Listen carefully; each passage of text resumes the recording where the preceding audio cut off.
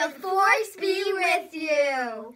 Today's Principal's Challenge is Star Wars themed! Today you're going to be building your very own droid and then race it.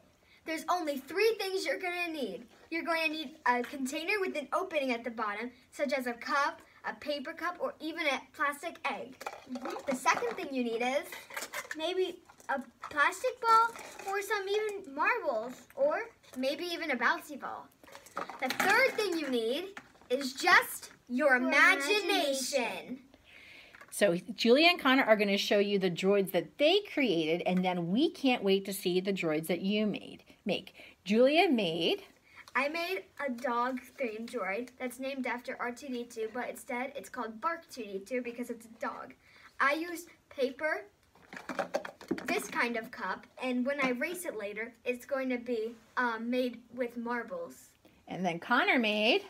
I made a droid like BB-8 or BB-9E. His name is BB-01. I, I used paper, this type of plastic cup, and I just used an Easter egg and and I just colored paper and some paper that was already colored. And, and then I'm going to use some marbles to race it later. We're going to head upstairs to go to our racing stadium and we're going to see is Bark 2 D2 or BB01 going to win the race. We can't wait to see what your imagination let you create. Bye, Barkley Brook!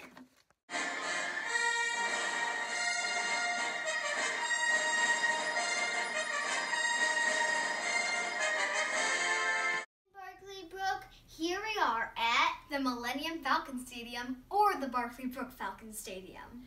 Julie and Connor are getting ready to race their droids. We have Bark 2D2 and BB01 ready to race. The cheering squad is in back voting for both of them. So who is going to win, Baby Yoda wants to know. So all we need to make a racing stadium are... We need a flat surface and something that can tilt your flat surface. We here used an Amazon box and just a stool to hold it.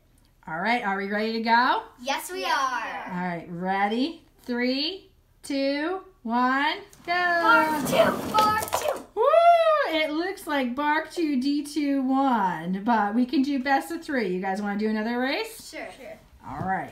Here we are, ready for round two. I'm going to count backwards from three to see if Bark 2 D2 will win again or if BB01 can pull through. Are you ready? Three, two, one, go! We're back at the Barkley Brook or Millennium Falcon Stadium. It seems like Bark 2D2 was beating BB01 each race, so we had some thoughts as to why that could be. Jules, what do we think? We thought that paper probably moves slower than the plastic does because the paper has much more friction which slows it down as it um, glides on the cardboard box. And so, Connor, how did we decide that we were going to modify your design? Because engineers always modify their design to make them better, right? So, what did we decide to do? We decided to just take his body part and just leave his head there to see if he would win now. So, right now we have the plastic egg as this head that's going to race against Bark 2 D2. All right, let's count down from three. Three, two, one, go! All right, it seems like our theory might be true that plastic moves faster than paper.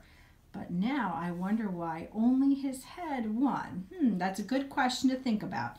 All right, guys, your principal's challenge is to create your own droid and then race it. We cannot wait to see. And if you want to send me pictures, if your parents want to email me pictures, I would love to see them. We can't see wait, wait to see what you guys come up with. Bye, Barkley Brook!